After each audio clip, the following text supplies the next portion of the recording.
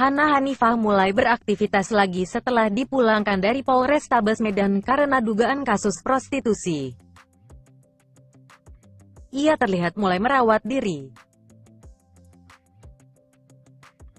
Di Instagram Stories, Hana Hanifah terlihat sedang menjalani perawatan muka.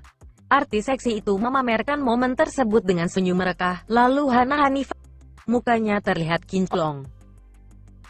Hana Hanifah kemudian membuat ucapan terima kasih.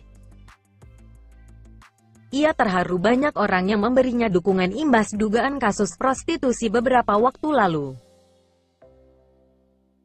Untuk teman-teman, makasih yang sudah support aku. Maaf aku nggak bisa balas DM satu-satu. Intinya makasih banyak. Love you, ujar Hana.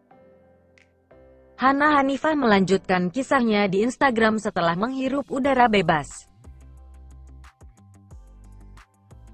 Kali ini ia sedang jalan-jalan ke Bandung, Jawa Barat. Lalu Hana Hanifah mendadak memberikan kabar soal rencana klarifikasi terkait dugaan kasus prostitusi yang menimpanya. Ia mengaku bakal mengungkap hal yang sebenarnya malam ini di channel YouTube-nya. Buat yang pengen tahu aslinya seperti apa, kalian lihat di channel YouTube aku. Nanti aku bakal tayangin malam ini juga, tutur Hana. Hana Hanifah juga memberi pesan kepada netizen yang masih menghujatnya imbas dugaan kasus prostitusi. Ia meminta para warga net introspeksi diri. Nah, buat para detergen yang ngomongnya ngaco-ngaco, mending kalian introspeksi dulu diri kalian oke? Okay? Jangan sok suci hidup kalian, kata Hana. Hana Hanifah diketahui ditangkap Polrestabes Medan di salah satu hotel di Medan.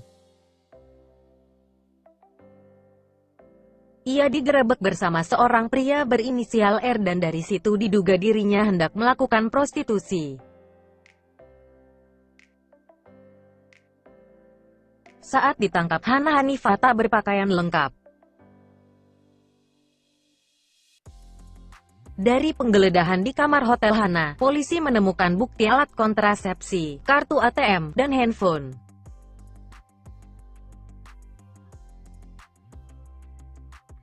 Hana Hanifah kemudian digiring ke Polrestabes Medan.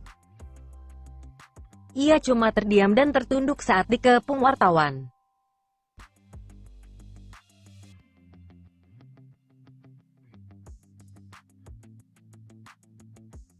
Dari hasil pemeriksaan polisi, Hana Hanifah diduga sudah kurang lebih satu tahun menjalani praktik prostitusi.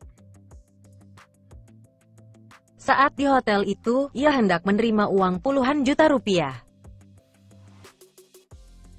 Saat ini, Hana Hanifah masih ditetapkan sebagai saksi oleh Polrestabes Medan. Penangkapannya membuat manajer dan keluarga terkejut karena mengira Hana ke Medan hanya untuk pemotretan. Hana Hanifah merupakan artis FTV yang sedang dekat dengan Chris Hatta.